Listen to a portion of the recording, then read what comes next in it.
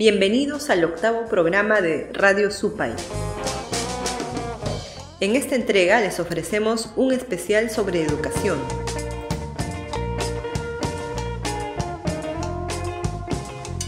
En primer lugar, Elisa Aste y Fabiana Rodari de Confluencias Educación nos hablarán sobre el body shaming. A continuación, Jorge Miyagi desarrollará sus reflexiones sobre arte comunitario. Finalmente, escucharemos la entrevista que concedió el profesor Carlos Chumpitas sobre la educación básica en la actual emergencia sanitaria.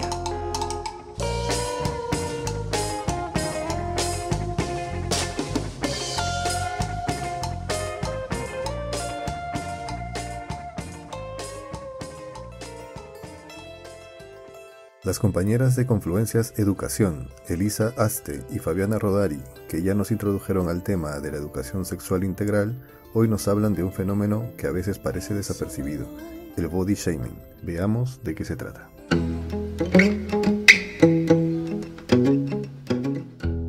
Maquíllate un poquito. Pénate. Mantén tu espalda recta. No digas groserías. Vístete bien, por favor y sonríe. Estas parecieran las palabras de una madre un tanto coqueta, crecida bajo ideales moralistas, bajo el falso mito del decoro. En cambio, estas mismas palabras las escuchamos a diario y en diferentes momentos de nuestra vida, y, sobre todo, se refieren a un patrón de belleza estandarizado que a menudo nos ha hecho sentir inseguras e incompletas, como si el brillo de nuestro cabello nos representara más que nuestras elecciones o acciones. Queremos hablar de cabello. El mío está tan encrespado que si representara mi única tarjeta de visita nunca encontraría trabajo entonces. Tu cabello ciertamente no debe tener más relevancia que tu inteligencia y lo mismo vale por tu cuerpo, tu piel, tu forma de vestir, Aún así, lamentablemente, las mujeres estamos constantemente bajo ataque, recibiendo comentarios desagradables sobre nuestra apariencia tanto en contextos sociales como laborales. Eh, por si acaso, ¿te pasó alguna vez? Pues sí, una vez mi gerente me dijo que hubiera sido más linda si me maquillara un poco, haciendo pasar este comentario como amistoso. ¿Y a ti? Ah, bien chistoso. A mí algo parecido. Por el cumple de mi hermano me puse una falda maravillosa, me quedaba súper. Y sus amigos se rieron porque, según ellos, no estaba bastante flaca como para ponerme una minifalda roja. Estos tipos de comentarios se definen body shaming. En castellano, avergonzar a alguien por su cuerpo. Es una acción o práctica de humillación o comentarios críticos sobre la forma de tu cuerpo o tu talla o tu apariencia en general. Las mujeres son las más sujetas a este tipo de comentarios, que, ojo, no son bromas, más bien son microviolencias que no deberían pasar desapercibidas. Sí, definitivamente. Y escucha, si eres víctima de body shaming, acuérdate estas siete cosas. Número uno, no se trata de ti. Recuerda que las críticas que otras personas te dicen se originan desde sus propios prejuicios y conceptos erróneos y no reflejan quién eres como persona. Número 2. Si eres lo suficientemente fuerte a nivel mental y emocional como para defenderte sola o hacerlo para otra persona, hazlo. Explícale a ese ignorante que sus comentarios son dañinos. Número 3. La expectativa de que las mujeres permanezcan educadas y opasivas está arraigada en la misoginia y es parte de lo que nos mantiene oprimida. Enojarse es legítimo. Número 4. Si no amas el enfrentamiento o no es momento, eh, no te sale nada, no te culpabilices. Dependiendo de nuestras situaciones de vida, circunstancias y experiencias pasadas, Simplemente a veces no podemos defendernos. También es correcto elegir nuestras batallas. Número 5.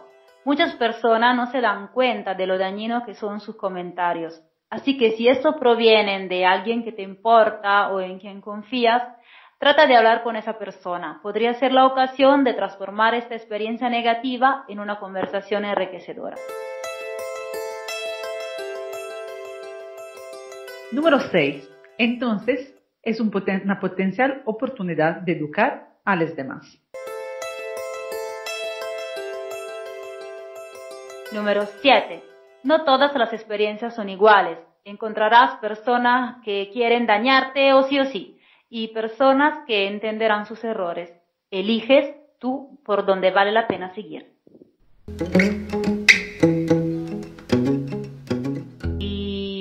Terminando esos siete puntos, ah, alguien pensará, pero ustedes no hablaban de educación sexual integral. Sí, y de hecho lo estamos haciendo. Hablar de body shaming es también parte de aprender a vivir una sexualidad más plena, aceptando nuestros cuerpos y los de las demás personas, sin estereotipo ni prejuicio. Hasta la próxima. Chao. Seguimos en Radio Super.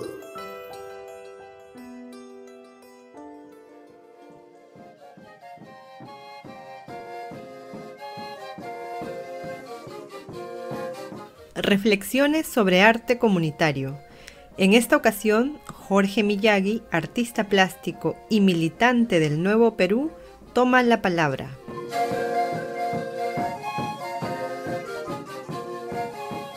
Los actuales tiempos de cuarentena nos obligan a repensar y reinventar los vínculos de cariño y el sentido de comunidad. Quería compartir algunas reflexiones sobre la importancia del arte que se produce en contextos barriales, en espacios de activismo y militancia. Hace un tiempo pintábamos un mural comunitario junto a niñas y niños en un barrio de La Victoria, cuando un niño insultó de modo racista a su amigo. A veces no somos conscientes de la manera en que la mayoría de nosotras hemos crecido interiorizando el racismo, la homofobia, el machismo, lo que significa tener éxito en la vida, etc. Hemos interiorizado tanto estas cuestiones que las consideramos normales y ya no nos escandaliza los chistes homofóbicos de la collera, el racismo del negro mama y la paisana Jacinta en la televisión, el estereotipo de belleza que nos imponen los paneles publicitarios, el machismo de todos los días en los micros, en las calles, en la televisión peruana. Para muestra, solo hay que pensar en cómo se muestran a muchas mujeres en programas cómicos y de espectáculos cómo se les suele pedir que se den una vueltita como si fueran pollo a la brasa o mercaderías. La mayoría de personas consideramos normales estas prácticas y el no se puede hacer nada, así funcionan las cosas hermanito, es más común que el sí se puede, que solo se escucha en las barras de fútbol. Cuando se habla de cultura o de lo cultural, se alude justamente a aquello, a las formas de vernos, sentirnos, pensarnos en el mundo, el hecho que nos haya dejado de indignar la desigualdad, la injusticia, tienen justamente que ver con ideas que damos por cierta y las prácticas que normalizamos. Por eso, todo proyecto de transformación social emancipadora tiene que ver con la dimensión cultural. Se trata de disputar aquellos sentidos comunes en los que se basa un orden social y un modelo de civilización que evidencian su crisis. El arte produce sentido, conocimiento, afecto y por lo mismo disputa esos sentidos comunes. Desde la plataforma del arte se puede dar batalla a la maquinaria comunicativa neoliberal porque el arte le habla al corazón y a la cabeza de las personas, a su razón y a su emoción en un solo movimiento. Parafraseando a Alejandro Dolina, el arte es una mezcla de amor y conocimiento nos activa la memoria colectiva y permite el encuentro afectivo y creativo con nuestra comunidad. El arte comunitario, es decir, las prácticas artísticas que se realizan en los barrios y comunidades organizadas de manera colectiva, con fines pedagógicos, recreativos, políticos, estéticos, etc., demuestran que el arte no solo es una herramienta para pensar críticamente la sociedad en la que vivimos, sino también una gran plataforma de desarrollo humano y social. Pues allí donde hay un grupo de hip hop que realiza talleres con jóvenes, allí donde niños y niñas pintan murales en las paredes de su cuadra, la deserción escolar disminuye, al igual que la violencia y la drogadicción. En tiempos de incertidumbre sobre el futuro, estamos llamados a repensar las actividades de arte comunitario para reforzar nuestros tejidos sociales, imaginar y crear dinámicas de encuentro para conmovernos junto a la otra y tejer colectivamente vínculos de cariño tan importantes para vivir felices.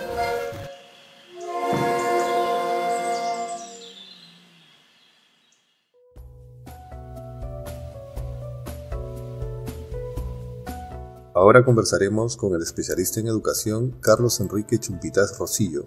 Él es docente egresado de la Facultad de Educación de la Universidad Nacional Mayor de San Marcos.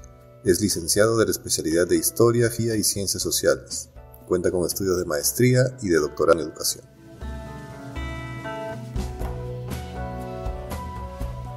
Carlos, ¿cómo ha encontrado esta emergencia al sistema de educación básica en el Perú? Como en todos los sectores, nuestro sistema educativo está a la deriva. Falta de liderazgo y reacción lenta e improvisada. Los resultados en educación, en primer lugar, no se ven inmediatamente, sino en medianos y largos plazos. Describir cómo está el sector de educación es repetitivo, pues con pandemia o sin ella, ya de por sí es de crisis permanente. Lo que ha hecho la pandemia es visualizar las dificultades, la crisis y la causa de ellas.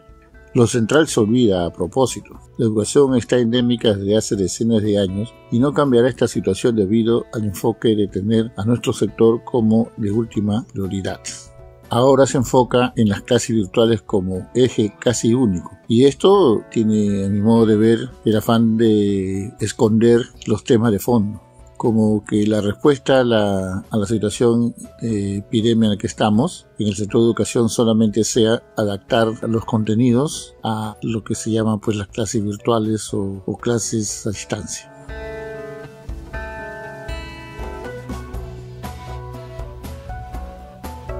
¿Cómo se desarrollará la educación a distancia?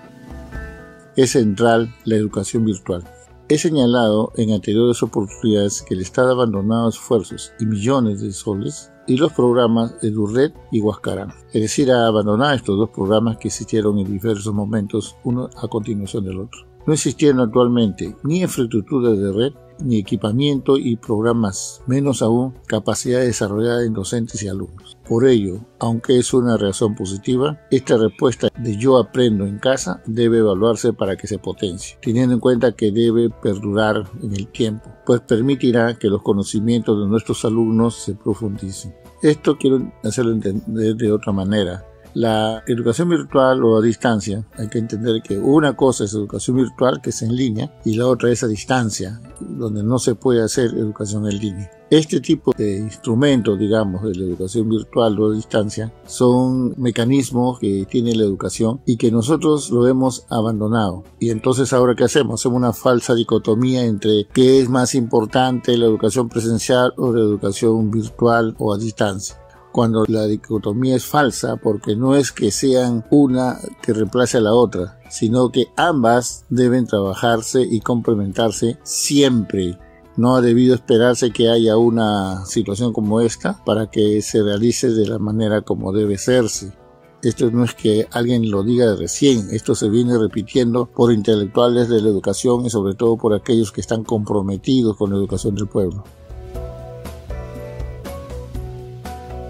Y en esta situación, ¿cómo deberían responder los profesores a esta emergencia?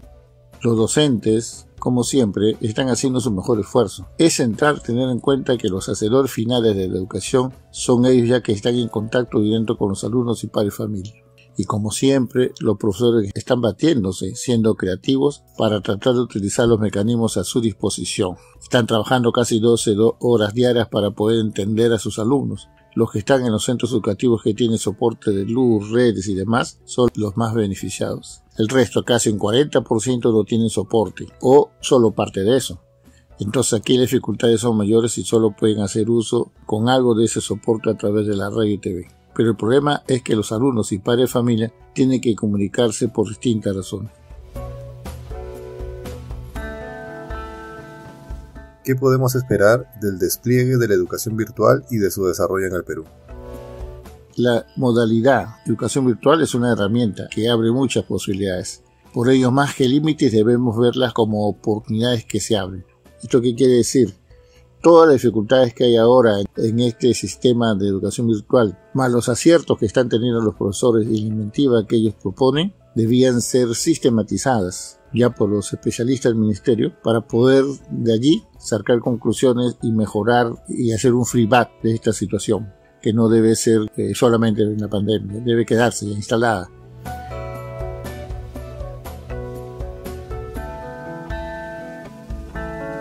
Y sobre la educación escolar privada, ¿cómo la encuentra esta situación?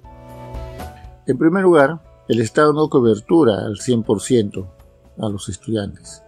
Es decir, el Estado tiene capacidad instalada para recibir a todos los alumnos en edad de educación básica. Y es por ello que un fuerte sector, tal vez un 30-40%, no llega a tener una matrícula. Y entonces eh, los padres tienen que recurrir a lo que llamamos, entre comillas, escuela privada. Que muchos piensan que decir escuela privada es decir que es mejor. Y en casi 70% de los no es así. Porque la mayoría de los niños o jóvenes que estudian educación privada lo hacen en situaciones muy precarias, con colegios muy precarios, y tanto es así que solamente, digamos, participa allí para poder acreditar que uno ha terminado sus estudios de educación básica. Entonces se abandona la suerte a esos niños. Están muy abandonados y ahora con mayor razón. Entonces, y la respuesta que está dando el Estado, en lugar de, de ver de manera estratégica esta situación, es enfrentar a padres familia con promotores. Y por supuesto que hay centros educativos de muy alto nivel que cobran mucho dinero, pero esos son los menos. Los más, los que tienen una matrícula, una pensión de 300 soles para abajo, son los más. Esos son los más. Y por lo tanto, esa masa estudiantil está con problemas. Hay 1.500, casi 2.000 instituciones de esa naturaleza que han cerrado. Entonces la pregunta es, ¿dónde están esos niños? ¿Qué están haciendo en este momento? ¿Alguien se ha preocupado por eso? Y de la misma manera, así como hay niños desocupados de estas instituciones, los profesores que eran contratados por estas instituciones también están en la calle. Es decir, tenemos docentes que ahora también están sin trabajo. Entonces esto es una situación calamitosa. La alternativa que da el gobierno es que se matriculen a través de, la Internet. Y es probable que esa podría ser una salida inmediata, ¿no? Pero la cuestión es, esos alumnos van a tener que ser atendidos por docentes, docentes que ya están con sus labores recargadas hoy. Entonces, ¿cuál será la solución? La solución no solamente que se matriculen. Pero en lo inmediato podría ser que salven el año. Pero ¿qué va a pasar el siguiente año? Cuando esos alumnos, debido a que los colegios han fracasado o han cerrado, van a recurrir al Estado para que el Estado los reciba. Y oh, la realidad es que no habrá infraestructura para ellos. Entonces vamos a tener otro problema ya en unos meses. Bien, hablar de educación es, es necesario tener mucho tiempo. He tratado de centrar en algunos aspectos que me parece que podrían orientar para una conversación o discusión futura. Muchas gracias. Muchas gracias, Carlos. Estuvimos con Carlos Chumpitas, que también ha sido director de la revista Educación y Sociedad y que actualmente es coordinador general del Comité Sectorial Universidad, Sociedad y Desarrollo del Nuevo Perú. Esto fue Radio Supay.